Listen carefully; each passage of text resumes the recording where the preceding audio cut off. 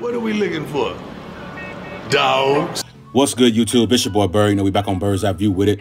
Like always, appreciate the love and support. Please continue to like, comment, and subscribe. Stop what you're doing. Smash the like button. Smash subscribe button. Hop in the comment section. Comment whatever you want. Of course, I'm dropping daily bangers day by day. You know, we got news of the day coming out of Colorado. And we're going to jump right into it. We got Phillip Houston. He's an offensive tackle. He's 6'5", 250 out of McKinney, Texas.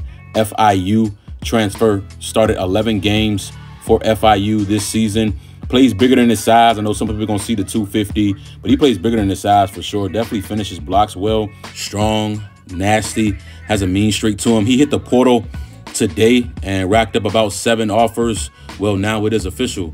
He's officially committed to this Colorado football program. As you'll see in the film, he's playing right tackle. He's a JUCO guy as well. He played at Navarro College before he got to FIU. Another Texas young man is coming to Boulder. Of course, we're adding more depth pieces to that offensive line. He's going to definitely come in without question and compete for a starting job. So not going to keep you long. Just want to bring you guys another quick update. Please continue to like, comment, and subscribe.